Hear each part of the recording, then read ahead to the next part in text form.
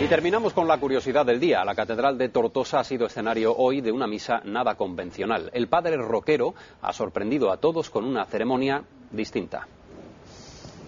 Haced esto en conmemoración mía.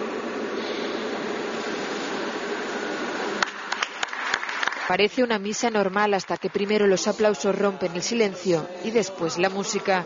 Y el intérprete no es un espontáneo, sino el párroco, que hoy oficia la ceremonia religiosa en la Catedral de Tortosa. Esto es una misa rockera en toda regla. El padre Johnny combina diferentes estilos, rock, hip hop y hasta rapea las ofrendas y el Padre Nuestro.